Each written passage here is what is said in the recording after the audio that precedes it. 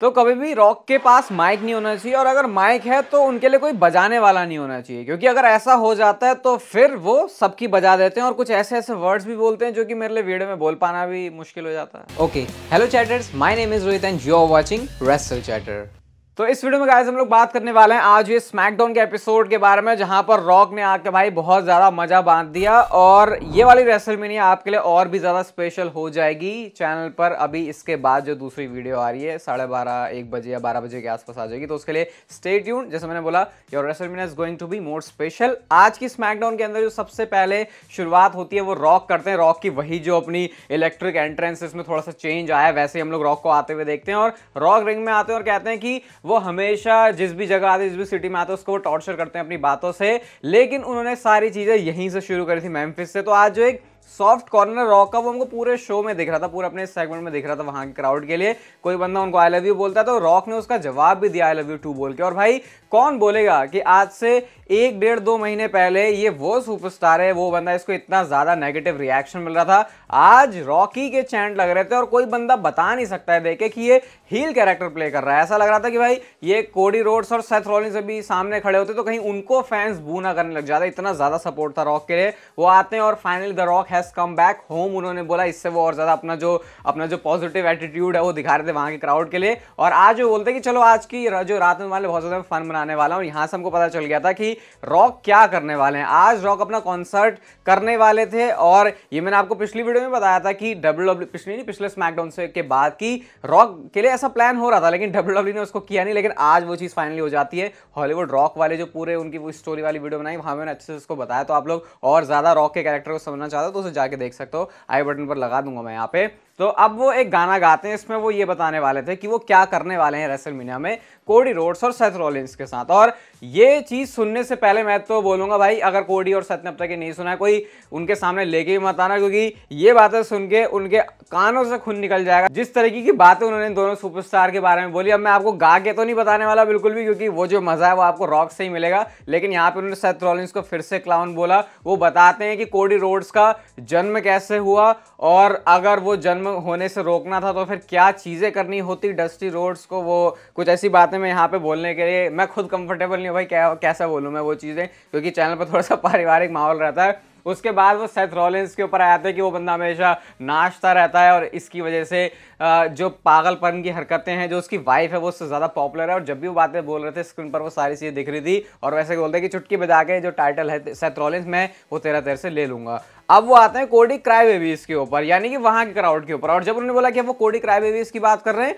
लोगों ने चीयर किया रॉक को। तो सोचो, अब फैंस की बेइज्जती हो रही है तो भी यहाँ पे जो रॉक के लिए सपोर्ट है, वो पूरा पूरा है क्राउड के लिए। पॉडकास्ट आने वाला है पूरा, हम सारी चीज़ डिस्कस करेंगे उसमें। रेसलमेनिया का बिल्ड हाइप जो भी है John Cena CM Punk Brock Lesnar Rock के बारे में भी कुछ स्पेशल चीज़ें इस मैच के रिगार्डिंग तो उसके लिए भी स्टे ट्यून लिंक आपको डिस्क्रिप्शन मिल जाएगा, फिर अपडेट हो जाएगा। तो अब यहाँ पे आगे उन्होंने जब कोडी क्राई बेबीज के बारे में बोलना शुरू किया तो वो बोलते हैं, अब मैं इसको भी अगेन कैसे बोलूँ, मेरे को समझ नहीं आ रहा भाई। वो बोलते हैं कि तुम लोगों को मज़ा तो मिलता है, लेकिन तुम उसके लिए पैसे देते हो। वो किस मज़े की बात हो रही है है ना? वो थोड़ा मतलब क्या बोल रहे हैं यार इसे? अरे मुझे तो छोड़ो, मैंने ये भी नोटिस किया कि जितने टाइम के लिए रॉक अपनी कुछ ऐसे वर्ड्स यूज़ कर रहे थे जो कि शायद टीवी फ्रेंडली नहीं है, वहाँ पे पूरी ब्लैक स्क्रीन हो रही थी तो वही चीज़ बता रही थी कि जो नेटवर्क है, शायद उनको भी कुछ या तो मुझे दिख रहा था कुछ तो इशू था वहाँ पे।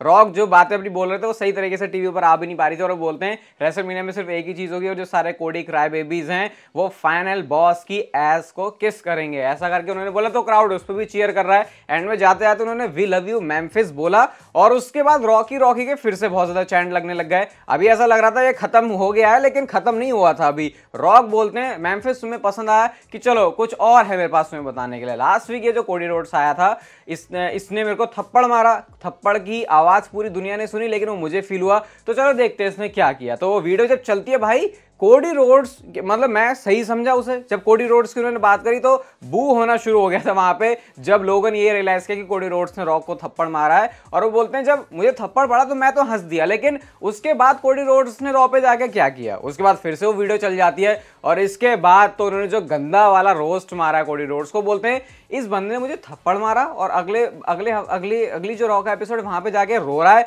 उन्होंने जिस तरीके से मिमिक करके वो रोना किया ना कोडी रोड्स का, वो तो बिल्कुल टॉप लेवल पर जो इंप्रेशन लेना है, वो था कोडी रोड्स के लिए इन इन अ फनी वे और ताकि वो रोस्ट भी कर सके। वो बोलते हैं रोना धोना कर रहा था ना कि तू डस्टी को तो टाइटल नहीं दे पाया, अपनी मम्मी को देगा टाइटल तू कुछ नहीं जीतने वाला तो तू कुछ किसी को टाइटल देगा भी नहीं। और वो क्या होगा वो बताते हैं। कहते हैं मामा रोड्स इसके लिए पे करने वाली है जो कोडी रोड्स मुझे चांटा मारा है। और जब रेसलमीनिया में नाइट वन में हम जीत जाएँगे, नाइट टू में सारा मैच ब्लड लाइन रूल्स होगा तो वो जो बेल्ट निकालते हैं, जो बेल्ट को रिवील करते हैं, और उस रिवील करने से पहले वूप दैट ट्रिक के चैंड लग रहे थे। मतलब देख लो ट्रिक विलियम्स कितने ज़्यादा ओवर है कि वहाँ पे वाला चैंड का यूज़ हो रहा था। जैसे येस वाला चैंड हर जगह यूज़ होता है वैसे कुछ ये चैंड जो यूज़ होने लगे, उसके बाद में भी शो पर हुआ था बेली और डेकोटा काई के मैच में। उसके बाद वो रिवील करते हैं, उसमें से बेल्ट निकलती है वेट बेल्ट होती है इसको लगा के, है ना वेट लिफ्ट करते हैं, और बोलते हैं, इससे वो कोडी रोड्स को इतना मारेंगे, इतना मारेंगे कि ये जो बेल्ट है वो पूरा खून में ऐसे हो जाएगी और फ्रंट रो में जो मामा रोड्स बैठी होगी, उसको वो जाके थमाएँगे और ये सारी उन चीज़ों का बदला होगा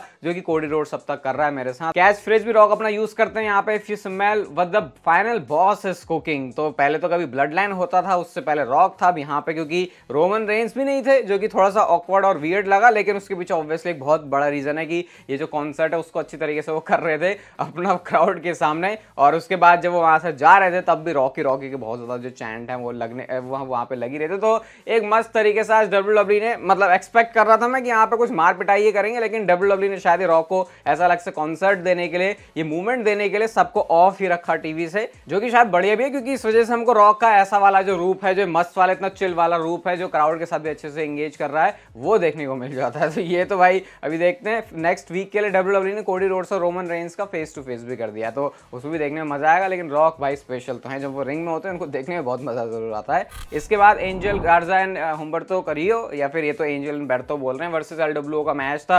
ये वही टैक्टिव मैच की तरफ़ आगे बढ़ने के लिए जो लैडर मैच होगा। लेगाडो डेल फेंटेजमा यानी कि एंजल गार्जा एंड हुम्बर्तो इस मैच को जीत जाते हैं। इसके बाद एलेनाइट से सवाल पूछा जाता है। एलेनाइट किला ब्रैक्सटन रैम पर ही होता है और पूछते हैं कि तुम तो जो एजेस स्टाइल्स को ढूँढने पर निकले पड़े उसकी क्या अपडेट है? तो यहाँ पे वो बोलते हैं कि एजेस स्टाइल्स ने मुझे बोला था कि मुझे हम्बल करेगा। चल ठीक है भाई, तेरे पास मौका है, तू निकल के आ जाओ उन्होंने एजेस स्टाइल्स को मौका दिया, एजेस स्टाइल्स निकल के नहीं आते। वो बोलते हैं, भाई तो सऊदी अरेबिया तक तो आ गया, लेकिन यहाँ से तेरे से मेम्फिस तक नहीं आया जा रहा। इसके बाद वो बोलते हैं, मैं एजेस स्टाइल्स की बात कर रहा हूँ, मैं एलिनाइट की बात कर रहा हूँ, मैं रेसलमेने की बात कर रहा हूँ। वो सीधा बोलते हैं रेसलमेने में जाके मैं तेरी एस ओन करने वाला हूँ। इसके बाद ये जो चैलेंज है वो सीधा उन्होंने दे ही दिया था। पीछे से आके अटैक आता है और वो चेयर से ही था, एजेस स्टाइल्स की तरफ़ से। एजेस स्टाइल्स ने बिल्कुल एलिनाइट के ऊपर वो जो चेयर उसको टिका के बोला आई एक्सेप्ट और इससे जो मैच है रेसलमेनिया में अब होने वाला एलिनाइट और एजेस स्टाइल्स का आई थिंक डब्ल्यू डब्ल्यू को भी इसमें थोड़ा और काम करने की ज़रूरत है, क्योंकि ये एंगल से मतलब थोड़ा सा इरिटेटिंग सा लग रहा है कि एजी स्टाइल्स आ क्यों नहीं रहा। मुझे ऐसा फील हो रहा है। लेकिन दोनों बड़े सुपरस्टार हैं। आई थिंक डब्ल्यू डब्ल्यू इसमें कुछ निकाल रही है अच्छे से। इसके बाद शो पर निक ऑर्डेस और लोगन पॉल बैक स्टेज से होते हैं और लोगन पॉल बोलते हैं, भाई पनिशमेंट कहाँ है? ये रैंडी ओटन की, इसने जो हमारी इतनी बड़ी डीलर जो हमारी डील हुई थी प्राइम ड्रिंक के लिए डब्ल्यू डब्ल्यू के साथ, उसमें इतना बड़ा अड़ंगा डाला तो अपॉलोजी चाहिए मुझे और और वो अपॉलोजी मुझे ला के दे। तो निक ऑर्डेस बोलते भाई, तू ही ना जाके ले ले। और लोगन पॉल चिड़ गया, बोलते हैं, अरे, तेरे से तो रेसलमीना का मैच तक नहीं हो रहा मेरा फाइनल तो ऐसे करके उन्होंने कुछ तो शुरू कर दिया था यहाँ पे कि शो पर आज निक ऑर्डेस को बहुत बड़ा स्टेप लेना पड़ा। उसके बारे में भी थोड़ी देर में आएँगे। नेक्स्ट बैक से, से केला ब्रैक्सन पॉलेमेन से ऐसा सवाल पूछते कि पॉलेमेन डर जाता है लेकिन सवाल सिर्फ़ इतना सा होता है कि जे ने चैलेंज कर दिया। जिमी उसको क्या बोलते हैं? जिमी उसको बोलते हैं मैं तेरे से बड़ा हूँ मैंने तुझे पला बड़ा बढ़ाया इतना मैं तो बोलने लायक हुआ है। तू मेरे को चाहता है में हीट करके उन्होंने आंसर दिया। इसका मतलब कि जे वर्सेस जिमी ऊसो का भी। मतलब पता ही है, बस ये जिमी ऊसो की तरफ़ से का आंसर था। इसके बाद शो पर रैंडी ओटन और ग्रेसन वॉलर का मैच था। रैंडी ओटन तो ऐसे बंदे हो गए लड़वाओ भाई, मुझे लड़वाओ, मैं आया हूँ लड़ने के लिए। आए शुरू में इतने सारे सुपरस्टार थे, क्योंकि लोगन पॉल भी आ जाते हैं, फिर ऑस्टिन थरी भी थे तो उन्होंने ट्रबल क्रिएट करने की कोशिश करी, लेकिन फाइनली अनाउंसर टेबल के ऊपर वो ड्रॉप कर देते स्पाइक डीडीटी उन्होंने ग्रेसन वॉलर को लगाई आरक्यू के लिए जा रहे होते हैं, लेकिन ऑस्टिन थेरी वहाँ पर सेव करने के लिए आ जाते हैं। इसके बाद उन्होंने स्पाइक डीडीटी लगाई ऑस्टिन थेरी को और उसके बाद ग्रेसन वॉलर ऐसे आ रहे होते क्या मस्त तरीके से आरक्यू लगाया उन्होंने, जीत गए, लेकिन उसके बाद ऑस्टिन थेरी अटैक कर देते हैं। अब लोगन पॉल भी आते हैं, अब मारूँगा मैं ऐसे अपॉलोजी तो करने से रहा। उन्होंने लिटरली किस किया रैंडी ओटन के ऐसे फोरहेड पर। और उस टाइम पे मैंने नोटिस किया थोड़ी सी शायद स्माइल भी आ गई थी रैंडी ओटन के चेहरे पर कि ये बंदा क्या कर रहा है। एंड देन आगे जाके क्या होता है, वो बिल्कुल पंच अपना बना बना के रेडी होते हैं। कैविन ओवंस आ गए, उन्होंने सेव किया। अब स्टनर जो मारा केविन ओवंस ने ऑस्टिन थ्योरी को, उसके बाद जो आर के मारा ऑस्टिन थ्योरी को, भाई, मस्त वो सीक्वेंस लगा, लेकिन ऑस्टिन थ्योरी को देख के लग रहा है, भाई, चल, बंदा तो अच्छा सेलर रहा है तो मुझे लग रहा है डॉफ जिगलर को भी आगे जाके ओवरटेक ना कर दे। लेकिन क्या हो रहा है ऑस्टिन थ्योरी के साथ? वो फिर से मुझे एक बार फील हुआ, लेकिन इसके बाद निक ऑल्डेस आते हैं और वो लोगन पॉल से बोलते हैं, भाई, मिल गई तेरे को अपॉलोजी क्या हुआ? अच्छा नहीं मिली तो चलते रेसमिना अपोनेंट की बात कर लेते हैं। वो बोलते हैं ट्रिपल थर्ड मैच होगा लोगन पॉल का यूएस चैंपियनशिप के लिए और वो केविन ओवंस और रैंडी ओटन दोनों के सामने अपनी चैंपियनशिप को डिफेंड करेंगे। ये सुनते ही भाई लोगन पॉल की तो फट जाती है, क्योंकि वो बड़ा सोच रहा था ये तो बंदा कुछ कर नहीं रहा, इसने इतना बड़ा मैच डाल दिया। तो रैंडी ओटन यूएस टाइटल के मैच में होंगे एट रेसलमेनिया जो कि आई थिंक फिर भी सेटिस्फाइंग है। अब तक जैसे हमको लग रहा था कि थोड़ी सी डायरेक्शन पता नहीं चल रही रैंडी ओटन की। इसके बाद शो पर Dragon Lee versus Santos Escobar का मैच था। रिंग साइड पर ये एंजल और बेड तो दोनों होते हैं तो उससे ही परेशान हो जाते हैं और एंड में फैंटम ड्राइवर के साथ जो है ये मैच जीत जाते हैं सेंटोस एस्कोबार कार्लिटो आते हैं सेव करने के लिए, उनसे भी काम नहीं बनता तो रेमेस्ट्री आते हैं और उन्होंने नेक्स्ट वीक के लिए वन ऑन वन चैलेंज कर दिया। कहते इतने ज़ोर से तेरे को मारूँगा ना मैं।